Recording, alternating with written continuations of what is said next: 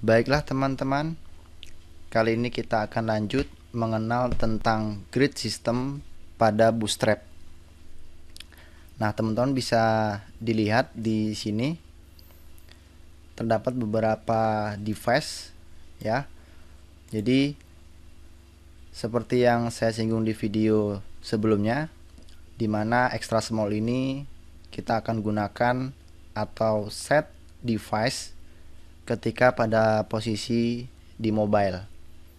Kemudian di atas extra small ada small. Mungkin di sini nanti kita akan gunakan tablet sampai ke desktop sampai ke layar yang paling besar.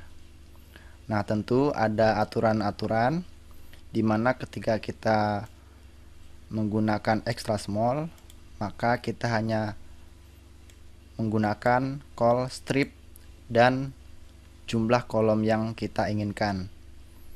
Di mana di dalam row jadi di sini seperti contoh script di sini setiap row memiliki 12 kolom. Jadi seperti ini aturannya teman-teman. Jadi row memiliki 12 kolom. Ketika kita ingin membuat kolom misalkan kita ingin membuat tiga kolom maka kita harus membagi dari 12 sehingga menghasilkan tiga kolom.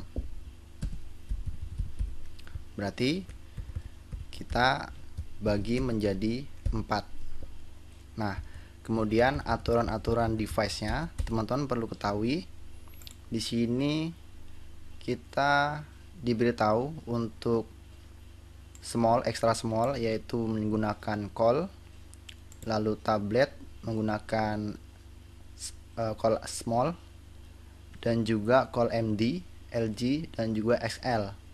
Nah, biasanya ketika saya membuat website atau tampilan website saya akan set yang paling utama adalah desktop.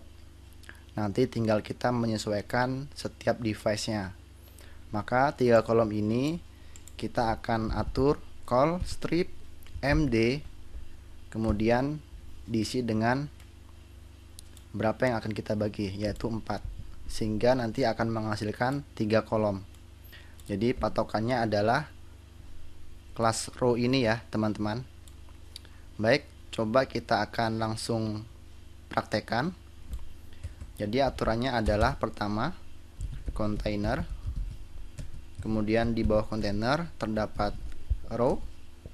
Kemudian baru kolomnya nah ketika di dalam kolom ada pembelahan kolom lagi maka di dalam kolom ini kita perlu memberikan kelas row lagi baru kolom.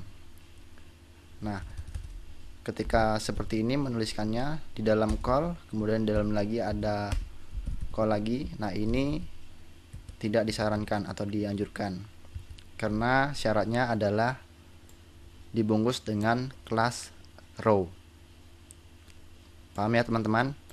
Oke langsung saja kita gunakan kita akan gunakan kontainer ini. Yang ini kita hapus. Nah kita akan coba membuat tiga kolom. Jadi yang pertama syaratnya adalah row lalu diikuti dengan kolomnya di mana pertama kita set untuk desktop. Kita akan buat di tiga kolom yaitu 4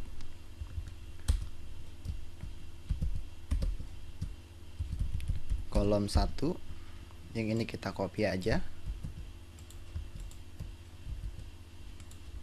Kolom 2 dan kolom 3 ketika kita simpan maka hasilnya seperti teman-teman lihat di layar. Seperti ini ya teman-teman. Nah ketika kita ingin menggunakan kolom lagi.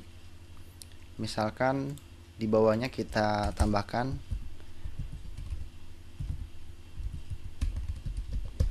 Row lagi. Dan di dalamnya terdapat dua kolom. Di mana dua kolom ini 12 dibagi 6 menjadi 2 kita copy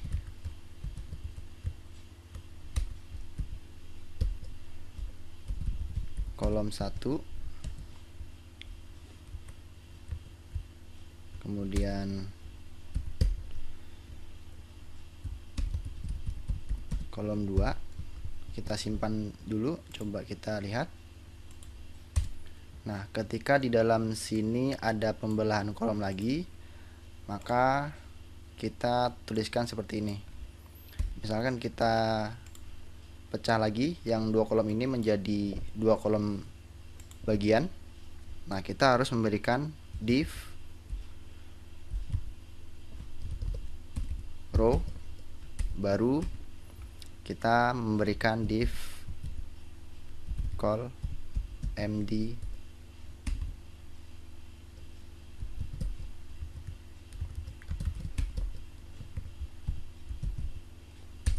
6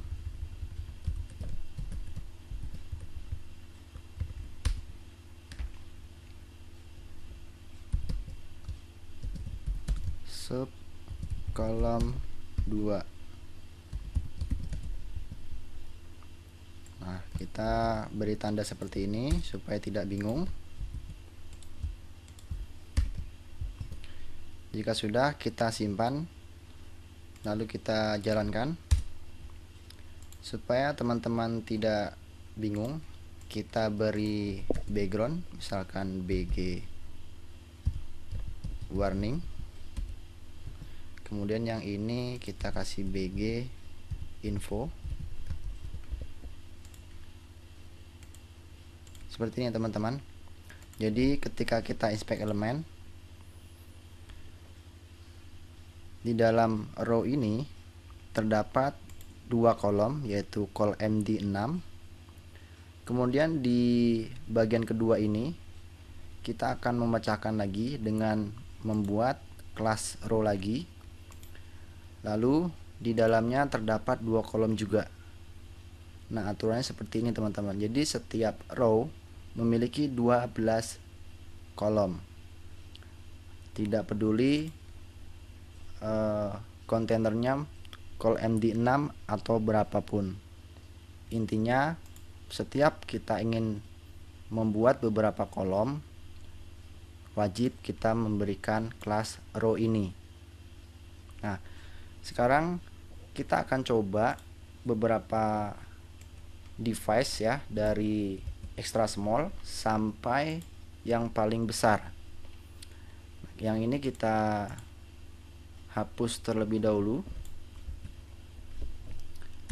Kemudian ini kita berikan yang baru. Misalkan div call kita copy yang ini small extra small.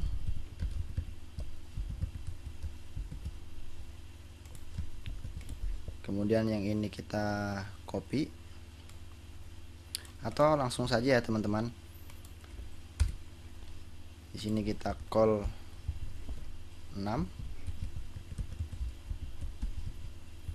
yang ini kita div call sm 6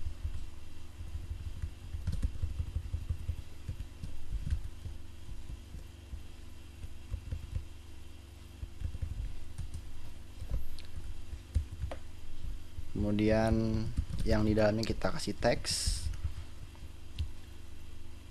Small.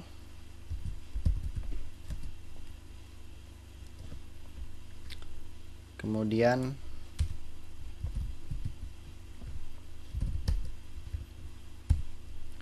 kita berikan call md 6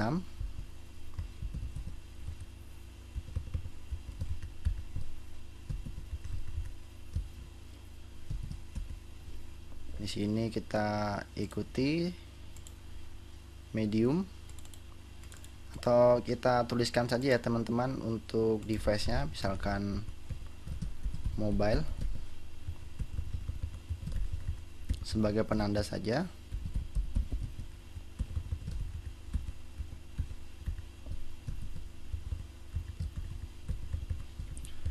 kemudian tablet.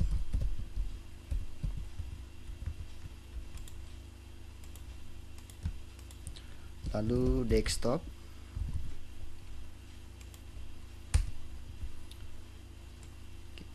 Kita copy saja.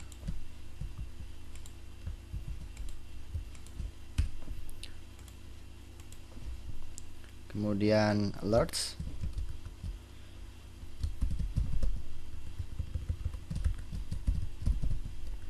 dan yang terakhir adalah extra alerts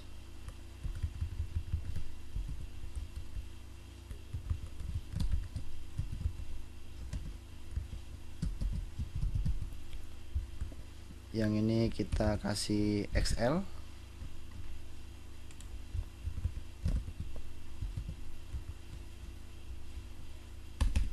yang ini kita kasih LG dan yang kita coba simpan dulu ya teman-teman. Kita refresh. Nah seperti tidak ada perbedaan ya teman-teman maka kita perlu menambahkan beberapa warna. Yang ini kita hapus saja. Jadi kita akan berikan BG danger. Kemudian BG misalkan warning.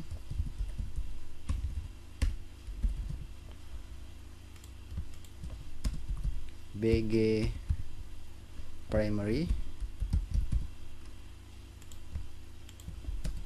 BG secondary. Dan yang terakhir adalah BG info jadi setiap device ini atau setiap row-nya ini kita memberikan masing-masing warnanya. Oke. Nah seperti ini teman-teman. Kemudian kita coba lihat pada responsive design mode. Nah seperti ini. Ketika kita posisi mobile maka pada saat mobile terdapat dua kolom. Karena memang kita atur di mobile yaitu dua kolom. Kemudian ketika kita besarkan sedikit maka yang tablet akan mengikuti dua kolom. Begitupun yang desktop sampai seterusnya. Seperti itu ya teman-teman. Nah kemudian ketika kita mengatur ini misalkan kita hanya mempunyai dua kolom kita bisa set setiap device-nya. Misalkan pada saat posisi mobile kita hanya memerlukan satu kolom saja. Kemudian pada saat tampilan tablet kita juga bisa set misalkan call SM 4 misalkan ini kita copy sekali lagi kita mau tiga kolom. Kemudian kita set juga di desktopnya call md 3 kita mau tampil sebanyak 4 kolom. Kemudian pada saat posisi lords LG kita mau ukurannya dua kolom dan yang terakhir adalah extra large. XL kita mau satu kolom. Kita coba save. Lalu kita akan refresh. Kita close dulu ya teman-teman. Kita refresh. Nah seperti ini. Jadi pada saat extra large maka dia akan menampilkan satu kolom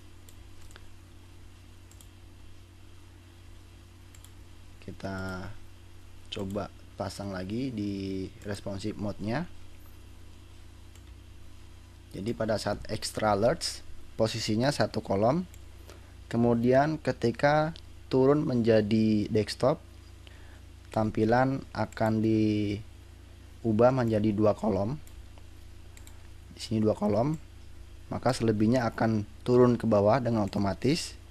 Ini sama seperti kita menggunakan display flex pada CSS3 lalu ketika kita kecilkan lagi di sini kita set menjadi empat kolom. Makanya dia kurang satu kolom karena 12 dibagi 3 otomatis akan menjadi 4 kolom harusnya di sini satu. Kemudian pada saat posisi tablet tampilan kolomnya menjadi 3 dan yang terakhir posisi mobile menjadi satu kolom nah itulah cara pengaturan untuk grid system pada Bootstrap 4 di video berikutnya kita akan mengenal lagi fitur-fitur yang disediakan oleh Bootstrap.